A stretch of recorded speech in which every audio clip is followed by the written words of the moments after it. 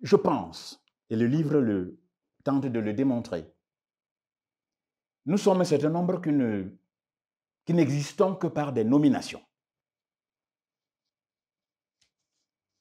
Et nous n'acceptons pas qu'il y en, qui s'en trouve qui existent par leur nom. Nous qui sommes nommés, c'est comme si nous n'avions pas de nom. La, nomination nous, nous, fait exister. Mais ceux qui ont déjà un nom, ils apportent quelque chose à la dynamique nationale. Et Tonde Ekoto avait un nom qu'il portait. Il le mettait dans le panier de la bataille pour le développement. Alors, les nommés n'ont pas toujours accepté que des noms indépendants, mm. libres penseurs, etc., aient cette visibilité. Et j'ai poussé l'analyse plus loin dans ce travail.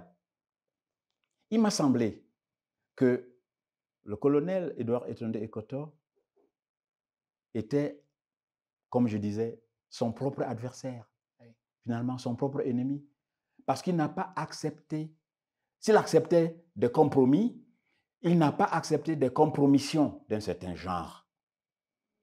Et on pense à ce personnage d'une œuvre littéraire que tout le monde a lu, le Tartuffe. Mm.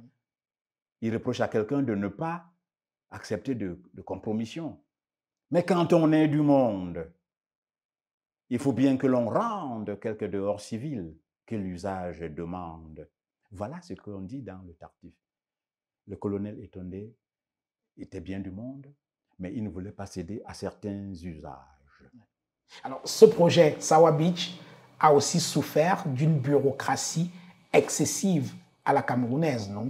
Parce que je lis dans votre livre que pour démarrer les travaux, il y avait euh, un chevauchement entre les administrations, certaines qui marchaient sur les plates-bandes d'autres. Il fallait près de 29 étapes à franchir pour démarrer un projet. C'est quand même extraordinaire pour un projet pareil. Mais 29 signatures, oui. c'est 29 freins. 25, 29 obstructions. Et dans l'ouvrage, j'ai évoqué le football, qu'on aime bien.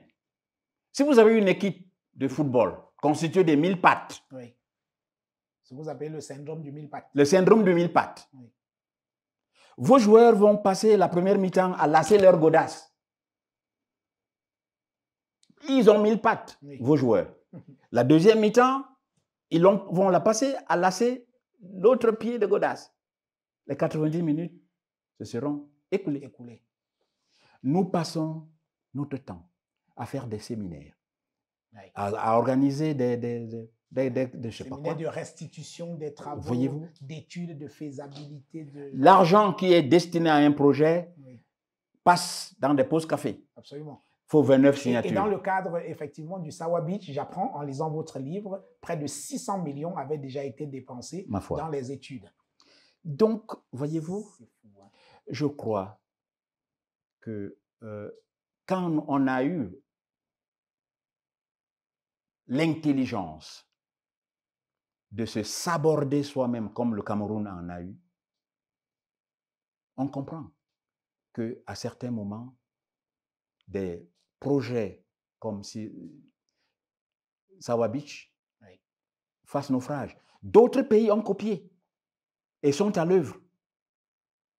Et assez souvent, c'est cela. Dans l'agriculture, nous disions que le Cameroun, la palmeraie, le palmier à huile, etc., d'autres pays sont venus voir ce qui se faisait au Cameroun, sont allés développer. appliquer, développer. Aujourd'hui, nous n'apparaissons même plus dans les écrans. Voilà ce qu'on appelle suicide administratif. Parce que 29 signatures pour un dossier, c'est une organisation de cimetière.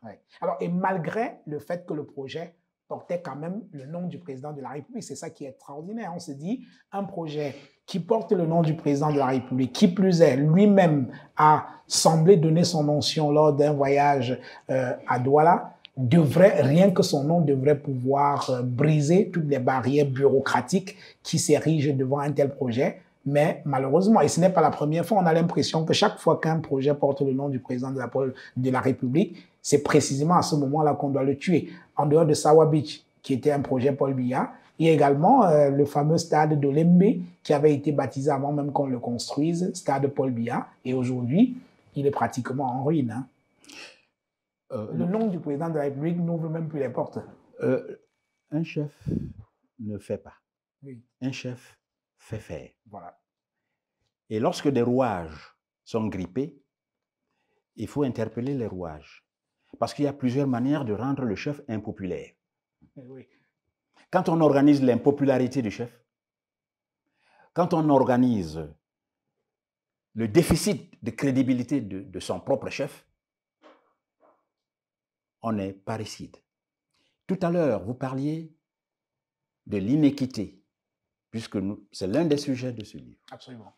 Et je vous répondais que si la bonne information remonte par les bons canaux jusqu'au premier magistrat de la République, il est possible que, conscient de la vérité, une cloche sonne. Voyez-vous? Assez souvent, les montages organisent des brouillages de messages. On brouille les messages. Et lorsque la bonne information n'est pas remontée jusqu'aux décideurs, on fait du tort aux décideurs pour des intérêts anti-patriotiques. Vous avez cité Olembe, Mm, je ne peux pas intelligemment en parler, mais ça fait mal aux Camerounais. Absolument. Euh, on a englouti près de 200 milliards et le stade, on ne peut même plus jouer, y jouer un match de première division parce qu'il n'est plus aux normes. Le Sawabich procède un peu de cette dynamique. Quand on a eu une bonne intuition de quelque chose, il faut se donner les moyens d'honorer le drapeau de son pays.